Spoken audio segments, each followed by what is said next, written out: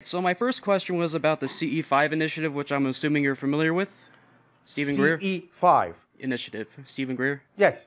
Uh, my question is, uh, what races has so far have interacted with these people who have successfully initiated the practice?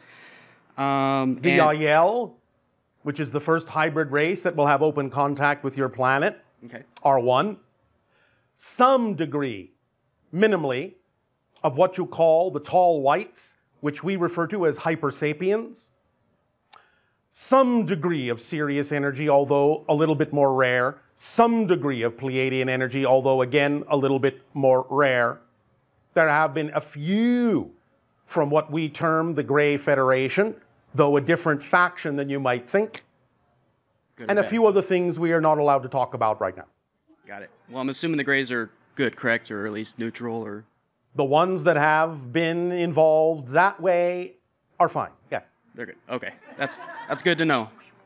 Um, Now, do remember that the Greys, as you understand them, that are involved with what has come to be known on your planet as the abduction phenomenology, which we will simply say is a type of encounter, are not actually alien. They are mutated humans from a parallel Earth that has destroyed itself and requires a viable human DNA to perpetuate their species.